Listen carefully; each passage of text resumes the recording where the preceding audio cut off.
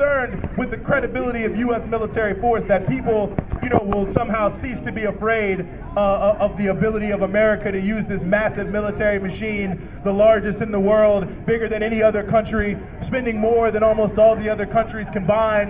You know, who is afraid that this massive machine of death will so will lose its power over the people of the world and that they may be willing to determine their own destiny because look who they're targeting. I mean, they say, well, we target, uh, you know, in human rights. That's what's important to us. But, you know, in Bahrain, the government there can oppress people for just thinking about protesting. And the U.S. government does absolutely nothing. Well, the U.S. Navy, the Fifth Fleet, the fleet that's going to carry out this attack on Syria, is based in Bahrain. So you roll with the U.S., you can do whatever you want to do. And ultimately, they talk about human rights. Look at Saudi Arabia. Look at all these other countries. They talk about democracy. Most of their allies in the Gulf states have, don't even, the, the word democracy is not even in the lexicon of the politics. So ultimately, what is this really about? It's not about democracy. It's not about human rights. It's not about chemical weapons. Israel, instead of using chemical weapons, in the first Gulf War, the U.S. used depleted uranium bullets. It's not about that. If they really cared about weapons of mass destruction, they'd get rid of all the nuclear weapons they have.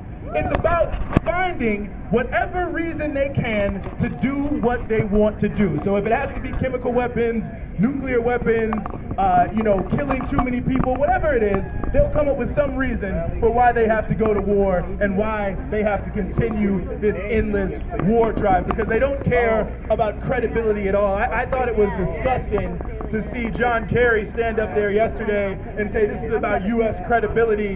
People, you know, we have a president. He said, we have a president who does what he says he's going to do. A president who says he does what he says he's going to do. Well, I guess when it comes to waging endless war, that's true. But when it comes to promising to release innocent people from the Guantanamo Bay torture camp, he doesn't do what he says he's going to do. And when people say, oh, well, you said you were going to do this, and you even have power that allow you to do this, they just come up with excuses. So they just make up whatever's convenient, whatever particular time to protect their ability to go around the world with this massive U.S. military torture spying machine. And don't forget it's a torture and spying machine. Right now, as they do this, they're building this massive apparatus that, without any hint of exaggeration is attempting to be able to eavesdrop on every single electronic communication in the entire world.